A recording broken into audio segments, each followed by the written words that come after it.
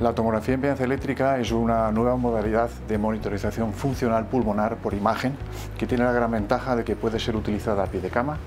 Nos ofrece imágenes en tiempo real de la ventilación y de la perfusión pulmonar, de tal forma que nos aporta información inédita hasta ahora a pie de cama, de una forma inocua para el paciente porque utiliza una corriente eléctrica de muy baja intensidad, con lo cual es totalmente inofensiva para el paciente, se puede aplicar de forma continua y es muy útil a la hora de proporcionar información a los médicos para la toma de decisiones eh, en los pacientes sometidos a ventilación mecánica. En esta fase del desarrollo de esta tecnología se está poniendo un gran esfuerzo en desarrollar herramientas clínicas que ayuden al médico a eh, optimizar la ventilación, a tomar decisiones, a mejorar el ajuste de los parámetros del ventilador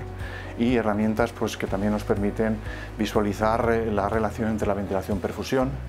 que nos permitan ajustar los niveles de presión, que es muy importante en estos pacientes, o evitar que esos pulmones se colapsen, lo cual sabemos que eh, altera de forma importante el, el, pronóstico de estos pacientes, y también últimamente desarrollando nuevas herramientas para poder establecer una mejor sincronía entre el paciente y el ventilador. Hay que decir que este monitor es el único que ofrece esa posibilidad de visualizar la distribución de la perfusión pulmonar y también como futuro, y le vemos un enorme potencial, es la utilización de esta tecnología para la monitorización en pediatría en todas las edades.